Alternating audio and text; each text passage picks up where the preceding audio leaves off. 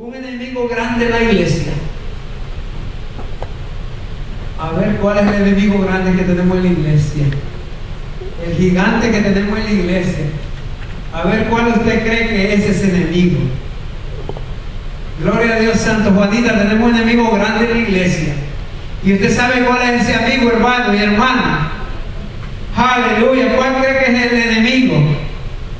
El conformismo.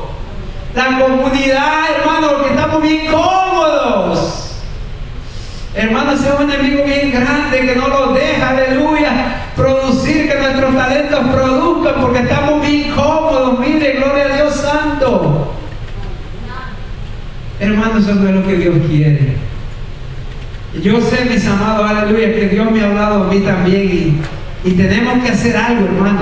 Tenemos que poner a producir esos talentos. Gloria a Dios Todopoderoso. Estamos bien cómodos, hermanos.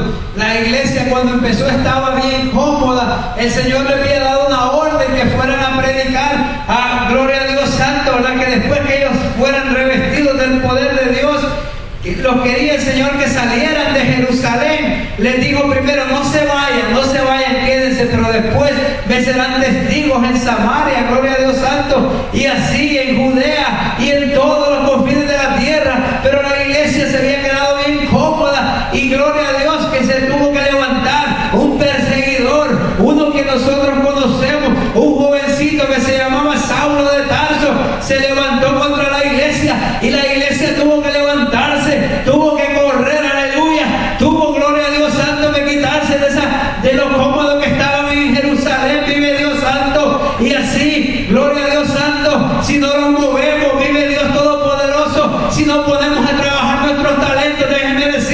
no espere, gloria a Dios Santo, que va a estar cómodo toda la vida, el enemigo va a hacer algo, hermano, el enemigo lo va a llevar a algún sitio para que usted se quite esa comunidad que tiene, gloria a Dios. ¿Cuántos lo creen? Yo lo creo, hermano. Estamos bien cómodos. A veces venimos cuando queremos, llegamos la hora que queremos. Ese es un enemigo terrible, hermano. Quítese ese mal hábito de venir tarde. Gloria a Dios Todopoderoso. Señor, aleluya. Gloria a Dios Todopoderoso. Te doy a ti la honra y la gloria. Hermano, si al trabajo cuando yo estoy ocupado, llego 10 minutos tarde, mi voz que es bien, que es bien buena gente, le da un infarto si no le aviso que voy a llegar tarde. Oiga, mi voz es buena gente, Jorge lo ha visto un par de veces. Yo sé que él me quiere mucho porque yo tengo el amor de Dios. Pero él dice que si estamos ocupados y si voy a llegar tarde, ay, si no llego, hermano. Si no llego, voy a tener que tapar los oídos porque el hombre revienta como, como un popcorn en el microwave. Explosivo, spark. Pero hay que avisar, hermano.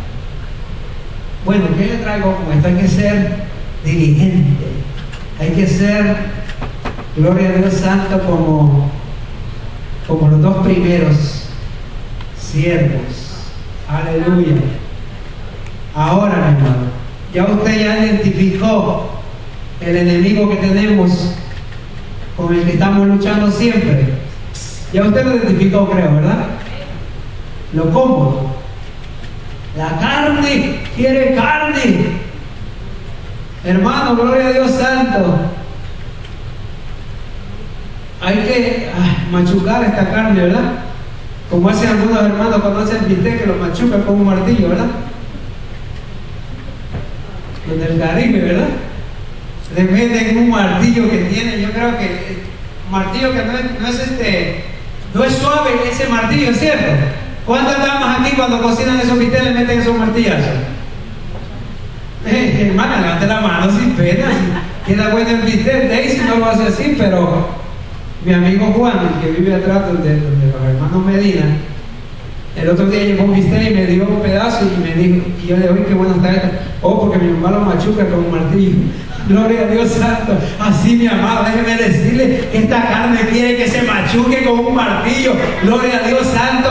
Esta carne tiene una lucha con el Espíritu. Y si no, hermano, machucamos esa carne, gloria a Dios Santo, lo va a ganar. Aleluya. El Espíritu está presto, hermano, pero la carne, oiga, haga duro. Gloria a Dios Santo, aleluya. Santo. Santo.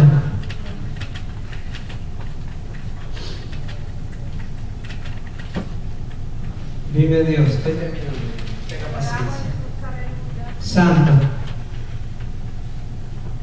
¿Con cuál de los tres siervos los identificamos? Espero que con los dos primeros. Aleluya. ¿Cuántos se identifican con los dos primeros? Si no, aquí te la tarde, en confianza. Yo creo que para, para nosotros, ¿verdad? Es libertad y privilegio servir al Señor. Para mí sí. Eufemia y Dalia y las hermanas quiero dar gracias, siempre me están dando las gracias por el rayo. Yo les digo, dale gracias a Dios que mientras yo pueda, yo lo hago con gozo, con alegría. Para mí es un privilegio estar empleado del Rey de Reyes. Para mí es un privilegio, hermano, ser, aleluya, gloria a Dios Santo, un siervo de mi Señor. Porque yo quiero que un día, cuando Él venga, aleluya, me diga, he aquí buen siervo. Hermano, ese es anhelo. Para mí es un privilegio y es una alegría, hermano, gloria a Dios Santo. Y yo creo que para todos debe ser eso, hermano. Libertad, privilegio, ser siervo de Cristo, ser empleado del Dios, de nuestro Dios, del Rey de Reyes. Santo, aleluya. Ese es mi, mi contentamiento, hermano. Ser siervo de Cristo, ser empleado del Dios vivo, por medio de aquel que los llamó y los amó, Cristo Jesús. Todavía hay lugar en el reino. Oiga, todavía hay lugar en el reino. Eso dijo al siervo que mandaron a buscar aquellos cojos y mangos a la plaza. Señor, ya lo traímos a todos. Aún todavía hay lugar. Hermanos, hay que hacer en la iglesia. Busque qué hacer si está desocupado. Hay que hacer, hermano. Es cierto. ¿Cuántos están conmigo? Hay lugar en el reino. El amor de Cristo nos convence que ya no vivimos para nosotros, sino para nuestro Dios. Oiga, el apóstol decía, ya no me ciño yo, hoy me ciñe otro. ¿Cierto? Gloria a Dios. Pregunta, ¿para quién usted trabaja? ¿Para quién usted vive? El siervo perezoso, y con esto termino. El siervo perezoso, mi amado, yo cogí una nota aquí. Se queja de que su señor es duro. Y así lo pasa a veces a nosotros, hermano. Ay, no, es que yo no puedo, es que la otra hermana lo hace mejor. Ay, ¿por qué no pones a, a Julanita? Ay, ¿por qué no pones a Menganita? Ese es un siervo perezoso. Santo, aleluya.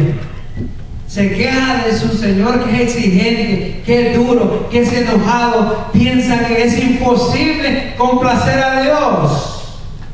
Y déjeme decirle, hermano, que aquel que piense que es imposible complacer a Dios nunca va a hacer nada.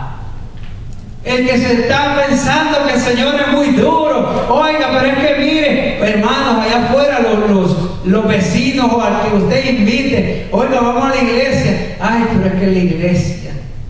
¿Y para qué van a la iglesia? Ah, pero ahí hay que ofrendar.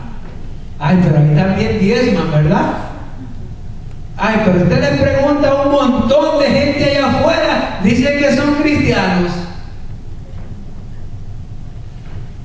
pero no son seguidores de Cristo, entonces no son cristianos, ¿cierto?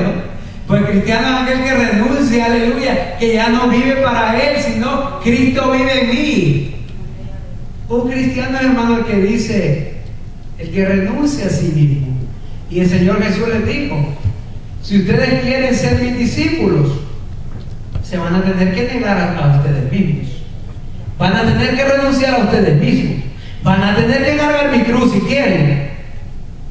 Y no era la cruz de madera que él cargó cuando fue crucificado, sino que eso le quiso traer una enseñanza a él. Gloria a Dios Santo, le trajo la enseñanza que tiene que renunciar a las cosas de este mundo. Es más, una vez le dijo, ¿saben qué? Que el que no, el que no deja padre, madre, hermano, tierra, mujer, hijos, y me sigue, no es digno. Aquí estos siervos le dijeron, no, mira, que compró unos bueyes y los quieren aprobar. El otro dijo que compró no